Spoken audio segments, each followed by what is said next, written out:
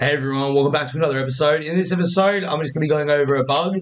So at the moment, if you right click and go attack, nothing will happen. I'm not sure if that was working or not back when you added it. I swear it was working.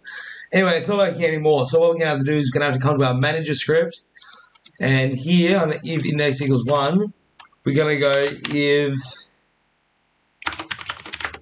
game dot find with tag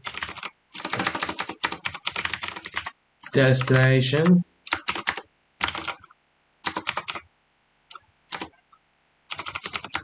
Destroy game object dot tag destination.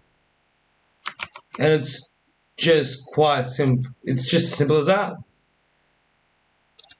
And just like that options attack and we will attack our enemy.